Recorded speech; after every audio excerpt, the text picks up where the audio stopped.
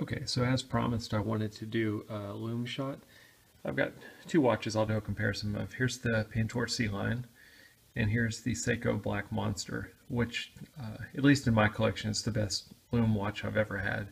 Um, but I thought a side-by-side -side comparison might give you an idea of how the lume is. So they've both been charged with an infrared flashlight, and uh, we'll take a look at the lume. Again, the Sea Lion is on the left, the Seiko Black Monsters on the right. Uh, both of them have green lume.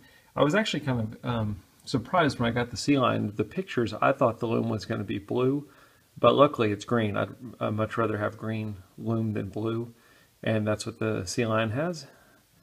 But as you can see, um, it holds up pretty well to the Seiko Black Monster. So anyway, I just wanted to give a lume shot. I do wish it had lume on the bezel, but uh, there's not a whole lot of watches that have that. I don't have any watch in my collection that has lume on the bezel, so um, it's good enough for me um, as is. But anyway, I hope that helps. Let me know if you have any questions.